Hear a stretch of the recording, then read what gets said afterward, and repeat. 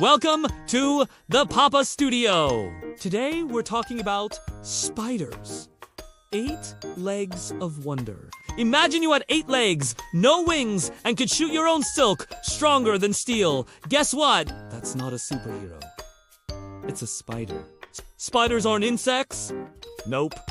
Insects have six legs, but spiders have eight. Instead, their bodies are split into two parts the head, chest, and the belly. Pretty fancy. Now let's talk about those eyes. Most spiders have eight of them, but don't be fooled. They don't see very well. Instead, they feel the world through tiny hairs on their bodies. These hairs sense vibrations. So when a fly buzzes nearby, zap!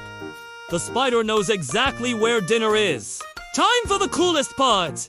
Super Silk Power! Spiders make silk, and not just one kind. Different silks for different jobs. Some silk is sticky to catch bugs, some is strong for building a web, and some is soft for wrapping up their eggs. Spiders don't chew their food. Instead, they inject their prey with special venom that turns the inside of the bug into soup, then slurp. They drink it all up like a milkshake. Yummy for spiders, gross for us. There are over 50,000 species. Some are tiny, smaller than a grain of rice, while others are as big as a dinner plate. Without spiders, the world would be crawling with way too many bugs. Remember, the next time you see a spider, you're looking at a real life superhero. It's got eight legs, silk stronger, and the power to keep our world balanced.